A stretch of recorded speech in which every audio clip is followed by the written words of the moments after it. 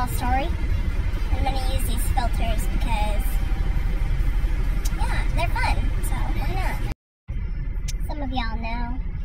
Most of y'all don't. So there's no easy way to say this. But been having some issues the past month, like the whole month of December.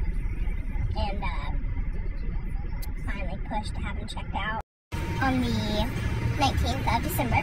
In to see my oncologist and uh, they found a growth. Now, it was concerning because it was a growth, but it could have been scar tissue from surgery or it could have been something else.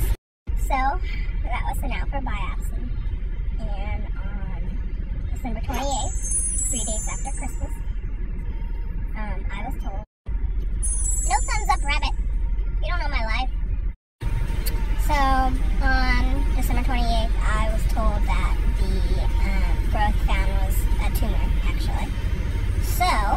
so it was a tumor and that my cancer had came back.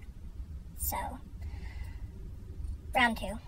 But today I find out if it has spread or if it was just at that center location, and I found out what the treatment options are.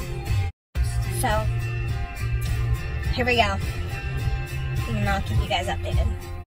Deep breath, deep breath, deep breath.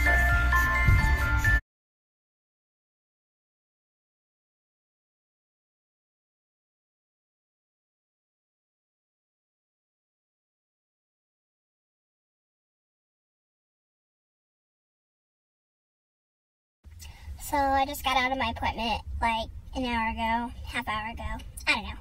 I'm a dog. I don't keep track of time. Why would I do that? So, good news first. Um, the cancer hadn't spread. It was just, it is just in the central location where they found it. Just going on. So that means chemo and radiation next. So five days a week for radiation and a day of chemo. So that starts up in the next week or two. So that's something to look forward to. I will say, push your doctors because you know your body and make them listen. And I'm glad I did. So, here we go. Um, I'll keep you guys updated like I did last time and just move forward.